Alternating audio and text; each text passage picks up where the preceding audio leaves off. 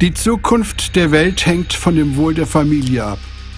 Besonders in Afrika ist die Familie die Säule, auf der die Gesellschaft ruht. Diese Säule ist heutzutage durch Klassenunterschiede belastet, durch äußerste Armut, plündernde Wirtschaft und politische Instabilität. Diese Faktoren resultieren aus den Kriegen, Krankheit und einer hohen Frauen- und Kindersterblichkeit. Die Industrienationen bereichern sich auf Kosten dieses Kontinentes. Unter dem Vorwand von Liberalisierung und Gesundheitsvorsorge wird diese höchst wertvolle und grundlegende Struktur, die Familie, manipuliert und zerstört.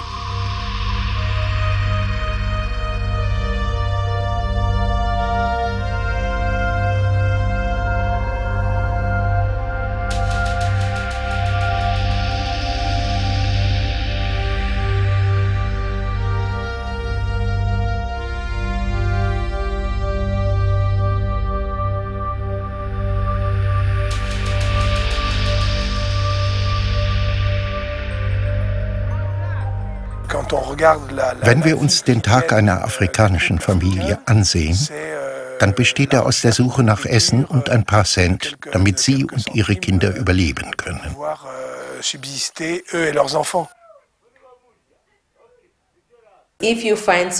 Wenn man jemand findet, der von einem Dollar pro Tag lebt, dann ist das sehr schade. Denn wir wissen, dass in der zivilisierten Welt niemand mit einem Dollar überleben kann. Das ist die Situation, in der sich die Mehrheit der Afrikaner befindet.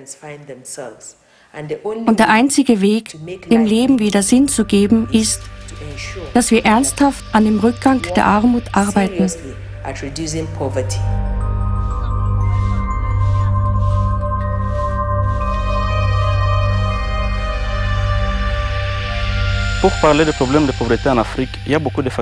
Wenn wir über die Armut in Afrika sprechen, müssen wir mehrere Faktoren ins Auge fassen. Es ist ganz sicher kein Problem der Überbevölkerung. Es gibt weite Flächen, die ungenutzt sind. Ich würde sogar sagen, die Bevölkerung ist nicht groß genug. Es gibt nur wenige Intellektuelle in Afrika. Und wenn sie ihre Meinung sagen, dann sollten sie sehen, wie sie behandelt werden. Ihr Wissen wird ignoriert. Wenn wir also über Armut sprechen und nach den Gründen dafür suchen, dann sollten wir nicht bei der Überbevölkerung stehen bleiben. Millionen von Dollar werden für die Herstellung der Pille ausgegeben. Millionen von Dollar für die Produktion von Kondomen. Und hier sterben die Menschen wegen der Armut. Sie sterben an einer simplen Malaria.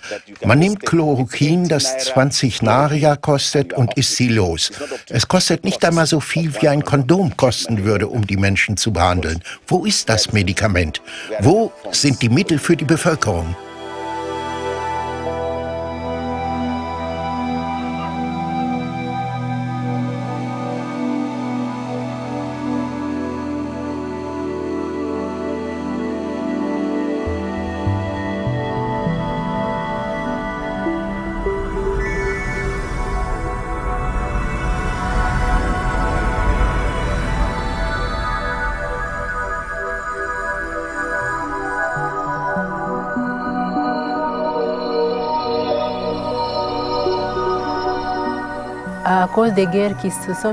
Die zahlreichen Kriege haben dazu geführt, dass es keine Familien mehr gibt und die wenigen, die überlebt haben, leiden unter einem negativen Einfluss. Die Familie spielt keine Rolle mehr. Es gibt Kinder, die ohne ihre Eltern leben. Wir erleben Eltern, die zwar Mitglieder einer Familie sind, die aber nicht ihre Rolle als Eltern erfüllen. Wir erleben Straßenkinder, Kinder, die die Gewalt und den Missbrauch an ihren Eltern sehen. Die Familie, die wir kennen, ist verschwunden.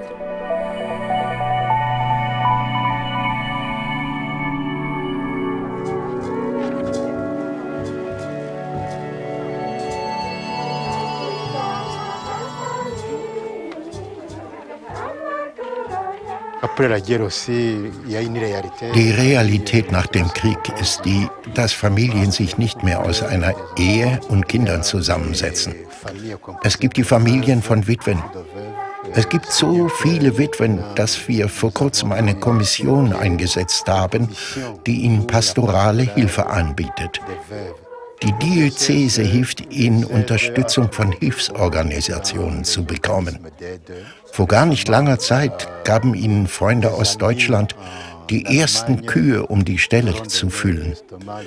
Es gibt auch eine Gruppe, die eine Kette von Schneidereien und von Heimarbeitsbetrieben führt, damit sie sich nicht isoliert fühlen, sondern vielmehr ihre Familie durch finanzielle Mittel unterstützen.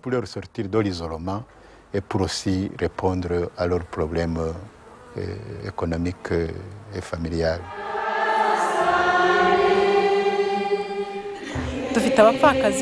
Einige von uns haben ihre Männer durch einen natürlichen Tod verloren. Andere hingegen haben ihre Gatten im Krieg von 1994 verloren. Wir haben hier Töchtermütter, die nie geheiratet haben. Diese Frauen sind vom Schicksal gezeichnet. Sie leben im Haus ihrer Eltern. Bei uns gibt es auch Frauen, deren Ehemänner inhaftiert sind. Und ich zum Beispiel habe ein Kind adoptiert, das ich selbst gestillt habe. Ich kenne weder die Eltern noch die Familie. Im Moment geht es in die dritte Klasse der Grundschule.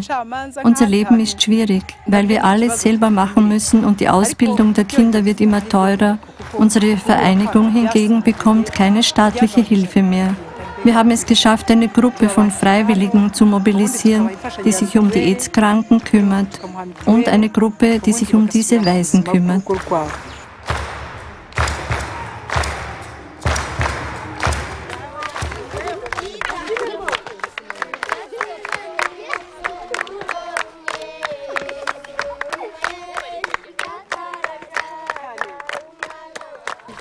Hast du Eltern? Nein. Bei wem wohnst du? Bei meiner Großmutter. Hast du sie gern? Hm, ja. Möchtest du irgendetwas haben? Was würdest du gerne haben? Ich würde gerne Schreibsachen haben. Wenn ich in die Schule gehe, dann habe ich nichts. Wer möchtest du sein? Der Präsident. Worüber freust du dich? Was würdest du gerne haben? Ich würde gerne studieren, viel lernen und Gott lieben.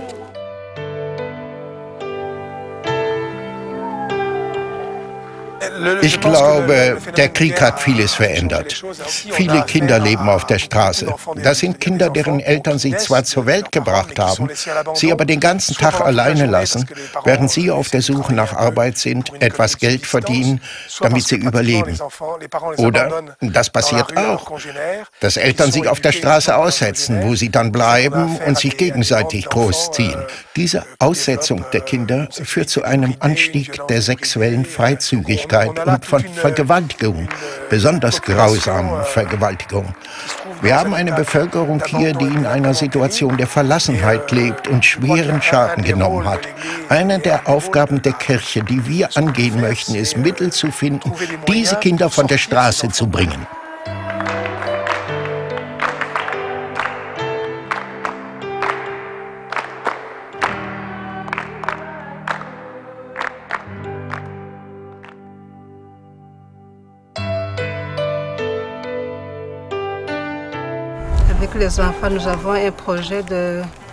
Unser Projekt soll den Waisen helfen. Nach dem Völkermord fühlten wir Mütter, speziell die katholischen Mütter, sehr stark, dass wir uns nicht nur um unsere Familien kümmern sollten, sondern vielmehr weiterblicken sollten auf die vielen Waisen, die durch Völkermord, AIDS oder andere Krankheiten zu Waisen geworden sind. Wir haben eine Vereinigung gegründet. Dank ihr konnten wir ein Waisenkind in unsere Familie aufnehmen und konnten so auch Kindern in anderen Familien helfen. Das Hauptproblem, das diese Frauen haben, ist es, das nötige Geld zu bekommen, damit diese Kinder aufwachsen können. Solange bis sie sich selbst helfen können. So versuchen diese Frauen mit der Hilfe von humanitären Organisationen, diese Kinder aufzuziehen.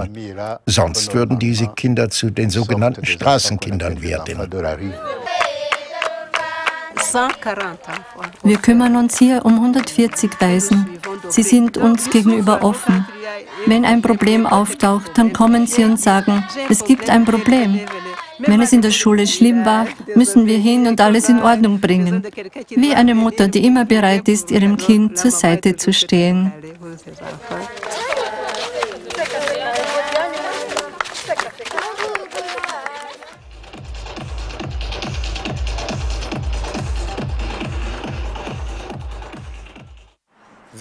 Heutzutage gibt es so viele Dinge, die gegen die Familie sind.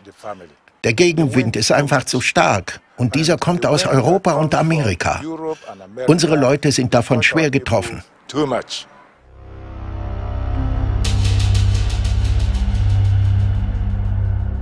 Der afrikanische Kontinent liegt inmitten eines Kampfes gegen die Familie.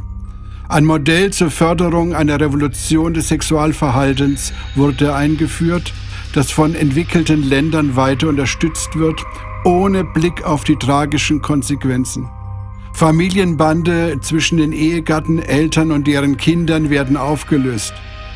Eine neue Mentalität entsteht unter Frauen, Männern und Jugendlichen, die von internationalen Organisationen ausgenutzt wird, um eine Kultur des Todes einzuführen und damit Verhütungsmittel, Abtreibung und Liebe ohne Verantwortung voranzutreiben.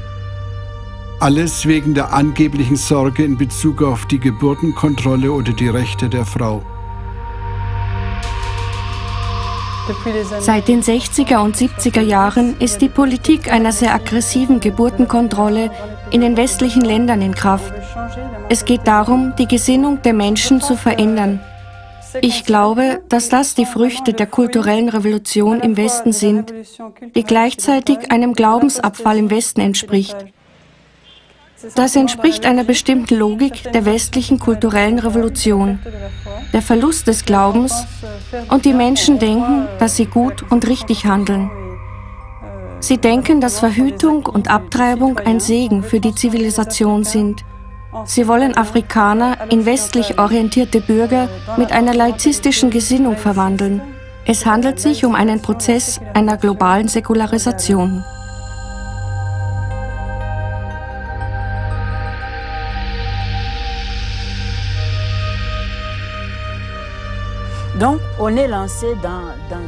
Wir wurden zu einer kulturellen Veränderung gezwungen, die alles Anerzogene und die Gesellschaft zerstört.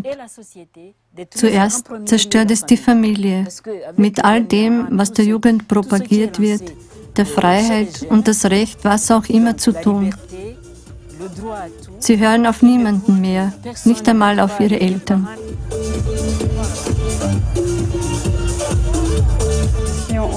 Wenn wir das Buch Genesis betrachten, dann finden wir drei Bedingungen, die die Menschen für die Sünde anfällig machen. Macht, Wissen und Erfüllung ohne Gott.